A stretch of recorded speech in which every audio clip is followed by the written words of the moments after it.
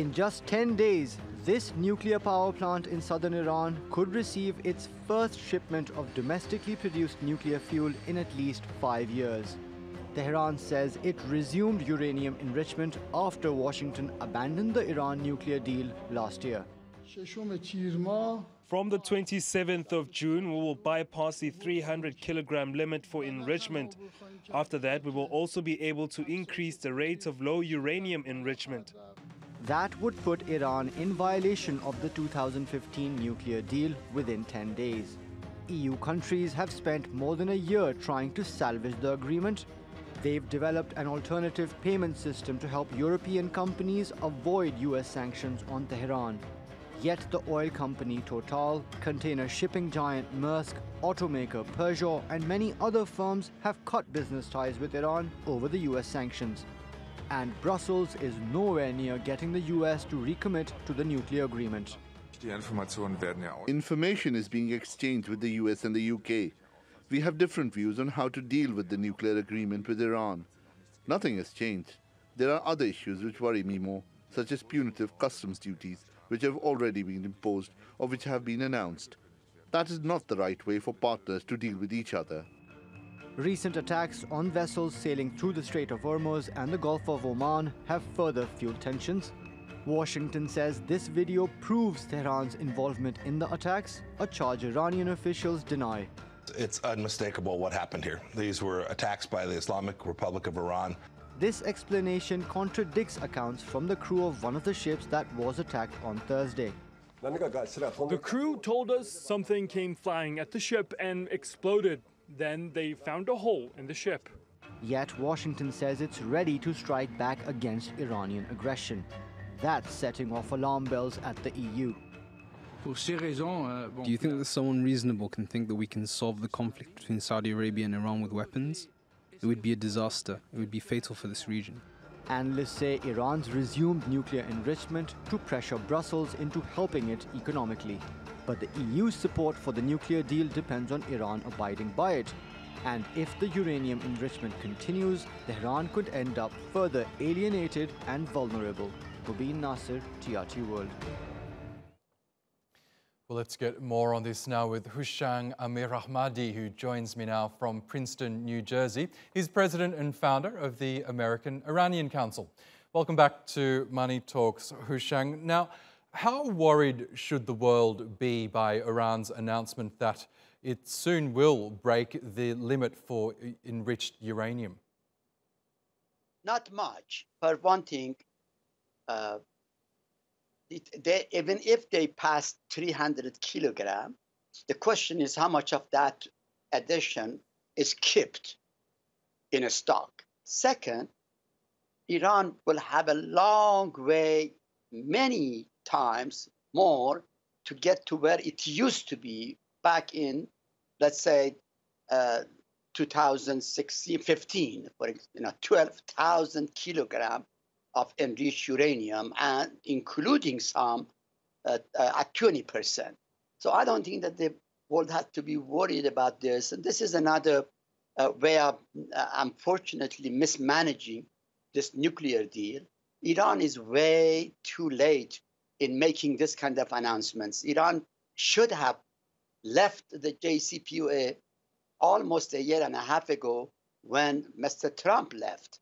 I don't know why they stayed so long, and now they are making announcements that are completely irrelevant and just makes the world angry at them. There is nothing they can gain from it. Mm.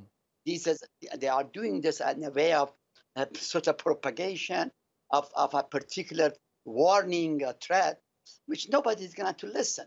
And uh, again, uh, Iran is really mismanaging uh, the nuclear issue again and its operations in the Persian Gulf, okay. I think, and the Sea of Oman. Yes. They should really be careful.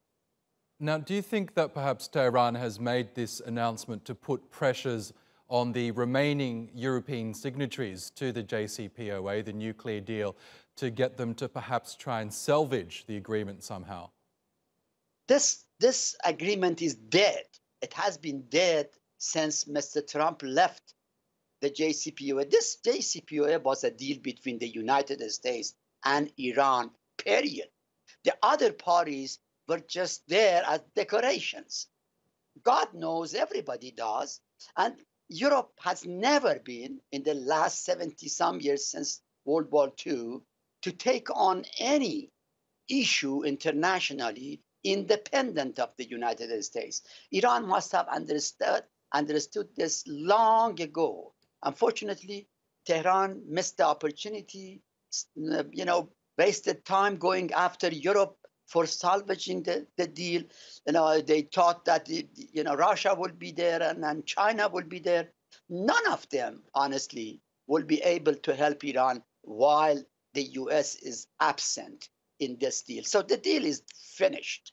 The deal is finished with all practical purposes. I think they should do a renegotiation, okay? And I believe uh, in Trump, Iran can find an opportunity. Unfortunately, they made this opportunity into a threat, and that was another mismanagement of the US Iran relations over the last two years. I think Iran really needs to go back uh, on the table uh, and put everything on the table. Mr. Trump wants a comprehensive deal toward normalization of relations, and I don't see why Iran shouldn't do it. Now, we know Iran's economy is in a very bad way. The, the currency is plunging, inflation is on the rise, uh, everyday goods, the prices of everyday goods are skyrocketing. How badly does Iran need to come to the table?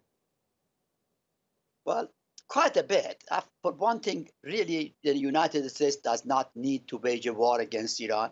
If and if it happens, it will be purely accidental. I know the United States has no plan to invade, to attack Iran, in at least not in the near future. Mr. Trump will never take a military action in the next year because that will not help his election, will not help anything yeah, may close to the election, I could see if it gets enough pretext, it may invade. But not the invade, the attack. But I tell you one thing, I think Iran should not should not take the kind of actions or talk the way it is as uh, the time goes by. They are really inviting violence against them. In fact, I have to tell you, unfortunately, Mr. Khamenei and his people really want a war. They seem to me that one of them told me that either we sit and die or we stand and die. So wow. Iran may decide to stand and and die. That is to say, you know, die like a martyrs and fight imperialism, that kind of uh, stuff, rather yes. than just sit around and die by economic sanctions, through the economic sanctions. Mm, but okay. if I was Iran, if I had a mm. choice to make, okay. I would have rather die economically rather than through a war. Okay. Hooshang Amirahmadi, we will have to leave it there, but thank you for your analysis as always.